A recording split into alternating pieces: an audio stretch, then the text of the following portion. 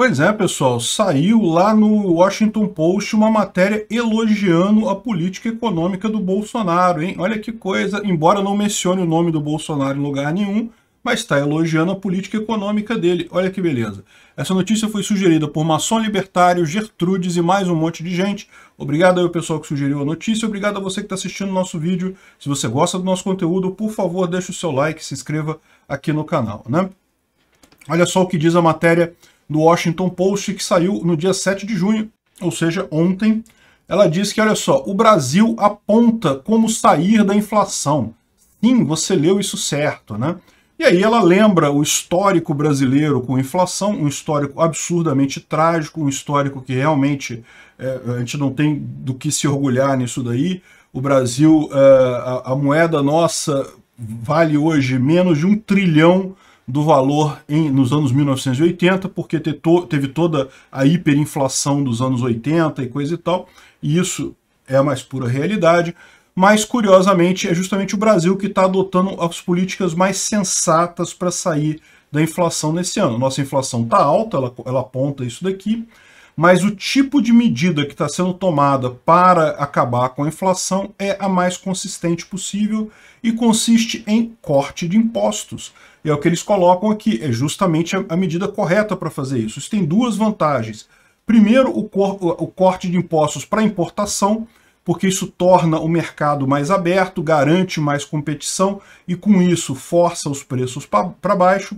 E também o corte de impostos interno, porque isso deixa de ser um custo a mais para os produtores daquela, daquela determinada commodity, daquele determinado alimento. Né?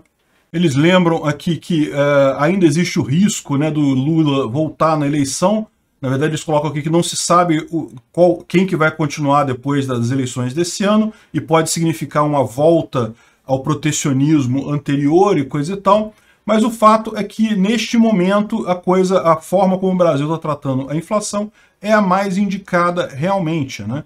Porque, lembra, inflação é isso daí. Inflação é o governo imprimindo dinheiro. Isso é inflação. Aumento de preços é consequência do governo ter imprimido dinheiro. Por que, que a gente está vendo inflação no mundo todo neste momento? Porque todos os governos, por conta da crise da Covid, implantaram essas medidas de aumento, de imprimir dinheiro loucamente, dar dinheiro a rodo, fazer licitação maluca para comprar qualquer coisa, e daí é, isso causou certamente um aumento do, do, meio do dinheiro em circulação e isso leva ao aumento de preço. Não foi uma coisa imediata, porque primeiro que nunca é imediato isso, esse efeito leva um tempo. E segundo porque como a gente estava no meio da crise da Covid, muita gente preferiu guardar o dinheiro e coisa e tal. Embora o governo tenha imprimido muita grana, muita gente segurou esse dinheiro e ficou... Uh, uh, isso não evitou a inflação. As pessoas não gastaram imediatamente o dinheiro, pouparam que a crise da Covid passou, que a economia reabriu, as pessoas começaram a gastar esse dinheiro e daí a gente viu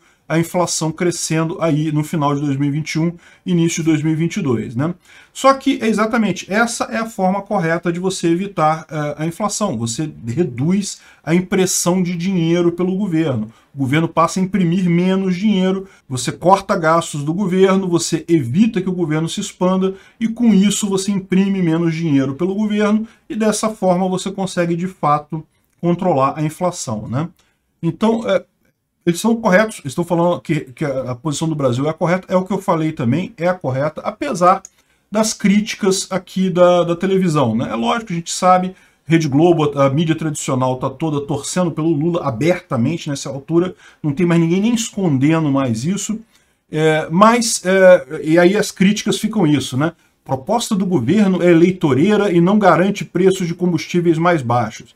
É, não garante preço de combustível mais baixo mas a certeza é que vai diminuir a pressão de preços e a tendência é que os preços caiam mesmo. Nada garante preços mais baixos, afora congelamento. Só que congelamento, vocês sabem, né?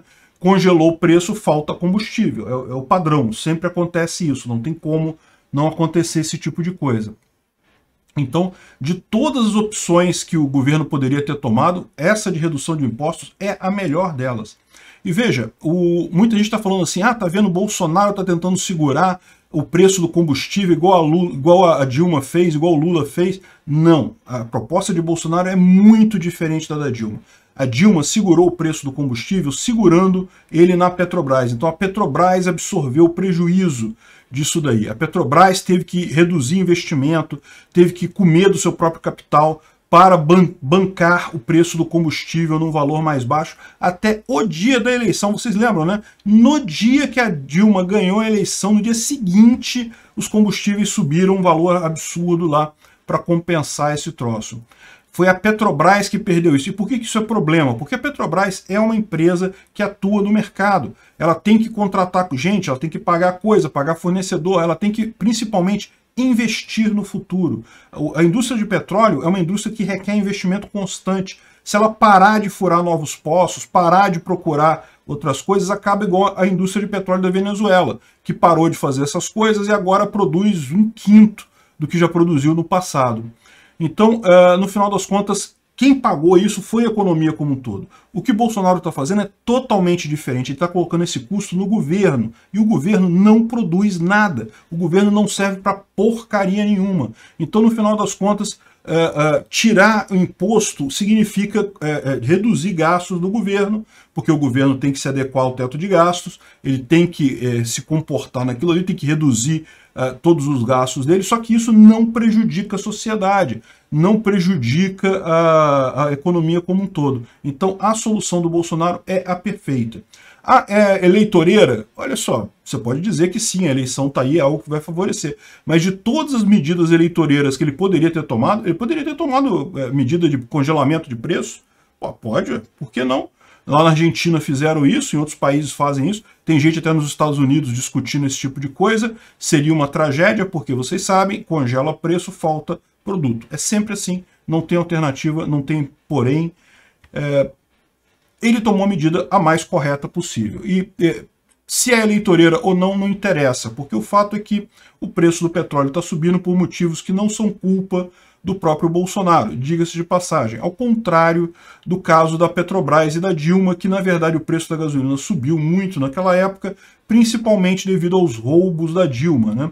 a, a, a toda a quadrilha do PT roubando a Petrobras. Enfim, Continuam os jornais aqui chorando com esse negócio. Ah, corte do ICMS pode tirar um bilhão da USP, Unesp e Unicamp.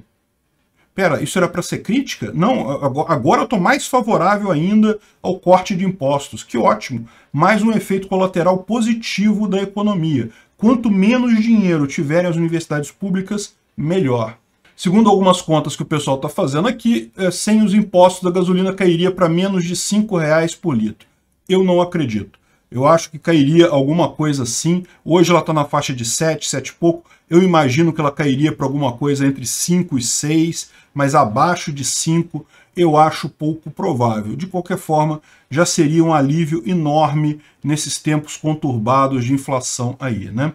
E pode esperar que o que vai acontecer com esse, essa matéria do Washington Post. Você sabe como funciona isso. Os jornais brasileiros vão pressionar os colegas americanos Pô, como assim? Vocês falaram bem do Brasil? Não pode falar bem do Brasil. Então podem esperar, vocês vão ver, é como um reloginho que funciona isso.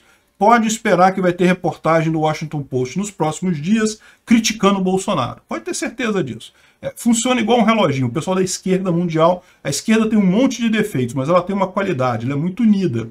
E daí os, o pessoal daqui já vai reclamar lá com o pessoal do Washington Post. Pô, não pode, não pode elogiar Bolsonaro. Como assim? Tá quebrando a corrente e daí eles vão fazer uma coisa criticando o Bolsonaro, né?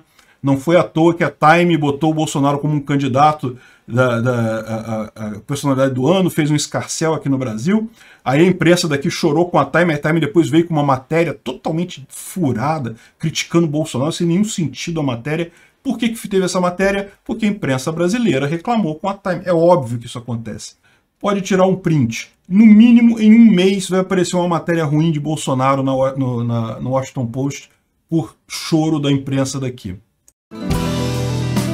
Obrigado por assistir o vídeo até o final. Além de curtir, compartilhar e se inscrever no canal, considere se tornar patrocinador com valores a partir de R$ 1,99 clique no botão Seja Membro abaixo para saber as condições e vantagens de patrocinar o canal. Mais informações sobre o nosso projeto, visite nossos sites indicados na tela.